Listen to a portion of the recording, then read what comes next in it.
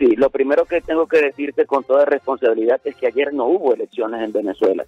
No hubo elecciones por muchísimas razones. Hay que recordar que en el año 2015, cuando ganamos la Asamblea Nacional, inmediatamente el señor Maduro dijo públicamente que más nunca iría a una elección si no tenía la certeza de que la iba a ganar.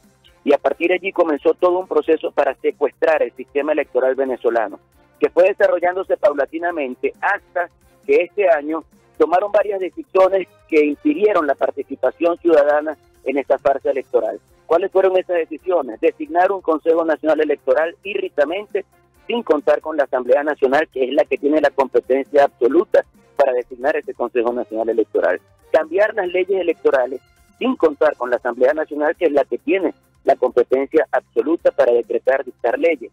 En tercer lugar, cambiaron también la conformación de la Asamblea Nacional violando la Constitución y en cuarto lugar confiscaron las tarjetas de los partidos políticos comprando a algunas personas y colocando a otras que nunca habían estado vinculadas a esos partidos como los conductores de esos partidos. Por lo tanto, ellos querían dar la imagen de que había una elección competida y realmente eso nunca pasó. Allí participaron los maduristas y los comprados por Maduro y el grueso de la ciudadanía venezolana decidió no participar y la mejor demostración fue ver los centros de votación vacíos, cuestión que no nos alegra, porque al final esa es una demostración fehaciente de que hemos perdido la democracia en Venezuela, pero al menos nos da la esperanza de que la gente está clara en lo que está pasando en Venezuela y está dispuesta a luchar por rescatar su democracia y su libertad. Claro, señor Guanipa, muy buenos eh, días. Andrea Bernal lo saluda. Pero ustedes perdieron la asamblea a los ojos del régimen de Maduro y era el único fortín que tenía la oposición, que era la Asamblea Nacional. ¿Qué va a hacer la oposición ahora? Pero es que a los ojos del régimen de Maduro podemos decir cualquier cosa. Maduro es un dictador. Nosotros estamos siendo víctimas de una dictadura pura y dura. Una dictadura además criminal, vinculada al narcotráfico, vinculada a la guerrilla, vinculada al paramilitarismo y vinculada a movimientos terroristas internacionales. Es una dictadura además vinculada a dictadores que no creen para nada en sus pueblos y que los oprimen, como es el caso de Cuba, Rusia, China, Irán, Turquía. Entonces hay que entender, asumir la caracterización de este régimen para saber cómo actúan. Ahora, yo le digo a usted, nosotros tenemos una responsabilidad con el país. Esa responsabilidad es seguir luchando por la democracia en Venezuela. Si nosotros desconocemos la parte electoral del día de ayer y llegamos a la conclusión de que ayer no hubo elecciones en Venezuela, nuestra responsabilidad de la Asamblea Nacional Legítima es reunirnos el 5 de enero, designar una directiva, asumir las consecuencias que eso pueda traernos en nuestra integridad personal y física y seguir adelante ejerciendo presión hasta que logremos que se produzca un cambio político en Venezuela. Señor Guanipa, ¿por qué no pelearon para ganar estas elecciones? Ya habían demostrado que podían la vez pasada, ¿por qué no hacerlo nuevamente? Y cada vez perder más espacios para ese régimen, como usted dice, corrupto de Maduro. Pero es que hemos peleado en todos los escenarios posibles.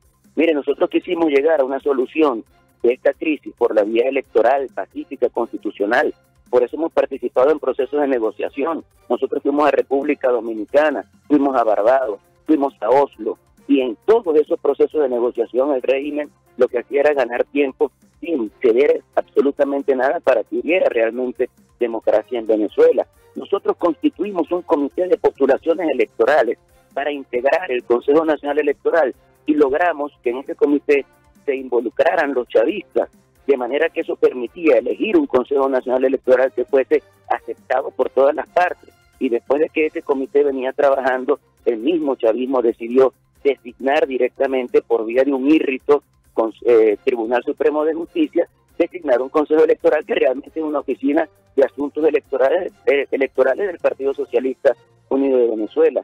Nosotros hemos dado la pelea en todos los escenarios. Ahora, cuando esta gente secuestra el sistema electoral, cuando el pueblo sabe que yendo a votar no va a elegir, sino que va a terminar legitimando una farsa y una dictadura, es el pueblo el que decide no ir. Mira, yo no puedo decir que la gente ayer no fue a participar en esa farsa, porque nosotros como líderes lo incluimos. Es que nosotros lo que hicimos fue asumir la posición de la gente que ha lamentablemente perdido la confianza en el voto porque el voto no sirve para elegir en Venezuela. Ese es el problema grave que nosotros estamos viviendo y por eso lo que buscamos es el apoyo de la presión interna y de la presión internacional para lograr que se produzcan condiciones para ir a las elecciones que realmente están pendientes en Venezuela, que son elecciones presidenciales y parlamentarias. ¿Por qué cree usted que distintos países del mundo, especialmente de América y de Europa, han desconocido a Maduro como presidente de Venezuela y están desconociendo la farsa que ayer se realizó, porque hay razones de mucho peso que nos hacen concluir que viendo a esa farsa no podemos elegir, tampoco podemos prestarnos a las intenciones de la dictadura.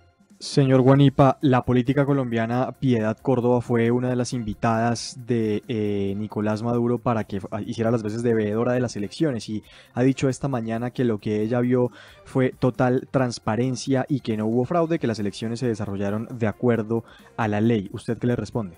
Yo le la señora Piedad Córdoba que en la palabra transparencia debe cambiar la N y la S por una M. Transparencia, de trampa, fue lo que hubo ayer en Venezuela. Ella es consciente de eso, como son conscientes todos los que vienen como supuestos observadores, que solo son aliados políticos de la dictadura de Maduro y que no les importa para nada el destino del pueblo venezolano, que además han recibido dividendos de su apoyo político a Nicolás Maduro. Y te digo, no solo es el caso de Piedad Córdoba, que me da vergüenza y que sinceramente debería darle vergüenza a los colombianos tener una dirigente como esta, pero es que es el caso también de José Luis Rodríguez Zapatero, es el caso del señor Correa, y es el caso de distintos aliados ideológicos y crematísticos que no entienden que los pueblos tienen derecho a manifestarse y que la democracia debería estar por encima de las ideologías, que la democracia debería estar por encima de los intereses parciales y que uno debe defender la democracia independientemente de la situación de sus aliados en cualquier parte del mundo.